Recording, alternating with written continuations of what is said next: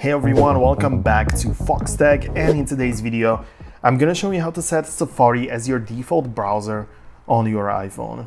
It is a straightforward process and I'll guide you through each step to make sure it's clear and easy to follow, so let's dive right in. At first, it's important to understand that Safari is the default browser on your iPhone. And if you haven't installed any other web browsers like Google Chrome or Firefox, if Safari is the only browser on your device, it will automatically handle all web browsing tasks by default.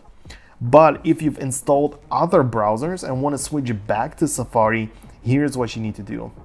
To start, open the Settings app on your iPhone and once you're in the settings, scroll down until you find the Safari section and tap on it. In the Safari settings, you'll see various options related to browsing, but the one we are interested in is the default browser setting.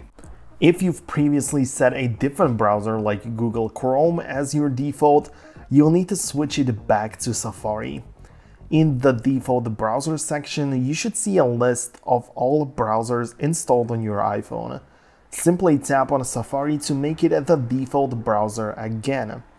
If at any point you decide to remove other browsers from your iPhone, such as deleting and completely uninstalling Google Chrome or Firefox or anything else you have, in this case, again, Safari will automatically become the default browser. This is because Safari is built into the iPhone's operating system and cannot be removed. So by uninstalling other browsers, Safari will naturally take over as the default one. So this method ensures that Safari is your go-to browser for all web activities, providing a seamless browsing experience that integrates perfectly with iOS. And that's all there is to it. You've now officially set your Safari as default browser on your iPhone. Hope you found this video useful. If you did, make sure to hit the thumbs up, subscribe below, and I'll see you in the future.